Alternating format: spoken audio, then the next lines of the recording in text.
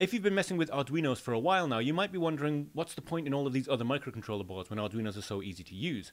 Well, the ESP32, that's the one you can see on the left here, that has Wi-Fi and Bluetooth built in, and it's a dual-core microprocessor that can do loads of stuff. It's really, really good. But that one on the right is the Raspberry Pi Pico. That has the RP2040 chip in it that Raspberry Pi have made, but it doesn't have any connectivity at all. And you might wonder, well, what's the point? Why would you bother using the Raspberry Pi Pico?